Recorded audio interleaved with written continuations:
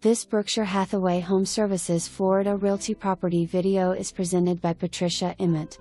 Pretty updated villa is now for sale in popular Glen Oaks Ridge. Among the many improvements, you will note the lovely etched glass front door which welcomes you from a screened breezeway.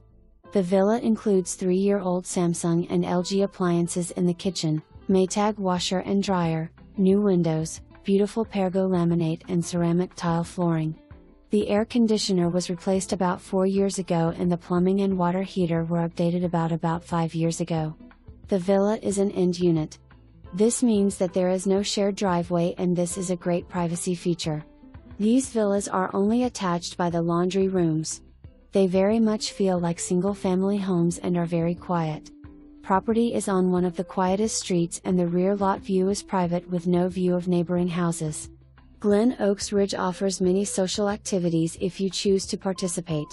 Poker, mahjong, pool, bridge, you name it. The year round heated pool is great for relaxing or pool activities with a group. All this in a super Sarasota location.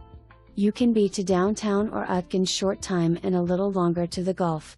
Bobby Jones Golf Complex will be a great amenity as the city continues with plans to renovate. Enjoy the Florida lifestyle and relax in Glen Oaks Ridge. For more information, review the details below.